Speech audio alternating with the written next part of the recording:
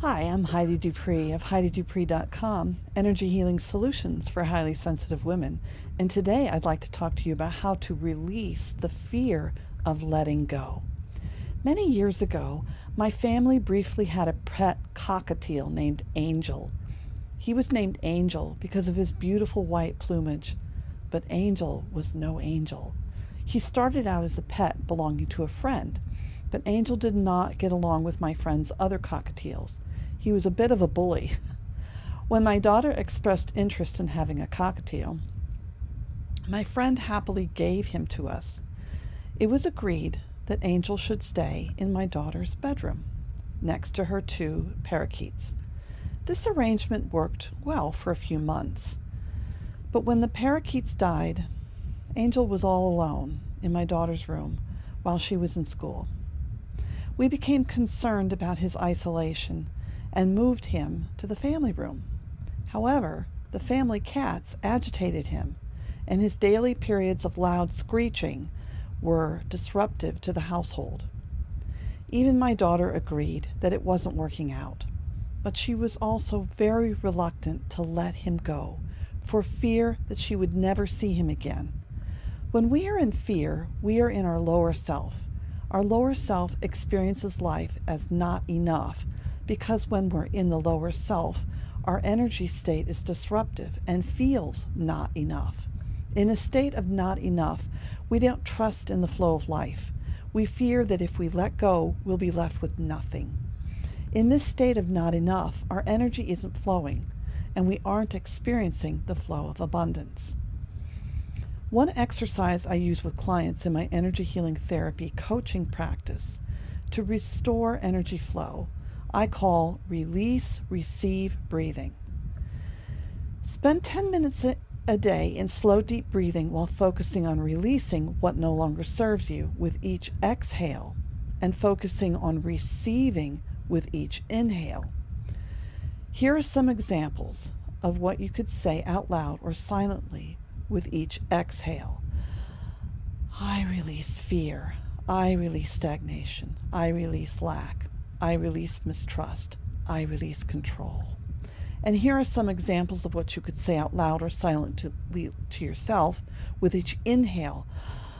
I receive love. I receive energy. I receive abundance. I receive support. I receive trust. This is a slow, rhythmic exercise, breathing in and out, that reestablishes your natural energy flow and builds your trust in the flow. I had no idea how I would rehome Angel in a way that was acceptable. I didn't want to just give him away to anyone. I finally let go of the situation and asked that a solution present itself. And the solution came right through my front door. I held Girl Scout meetings in my home at that time, and the girls all admired Angel. One of the mothers took a special interest in him. As the meeting was breaking up, she asked me a lot of questions about what was involved in owning a cockatiel. She was looking for a pet for her son with special needs, and it had to be a pet without fur due to allergies in the family with fur. She wanted to know how much it cost to own a cockatiel and how much the cage and toys and food cost, as she was on a tight budget. It suddenly occurred to me that this was the perfect solution for Angel. He and his paraphernalia could go to this loving family where he could be outside of his cage and not be bothered by cats. A family who might not have been able to otherwise afford a pet. A home where he would help a little boy with special needs. And my daughter could still visit him. It was a win win situation for us, Angel, his new owners, and our daughter. And it was a solution I did not have to seek I only had to receive it.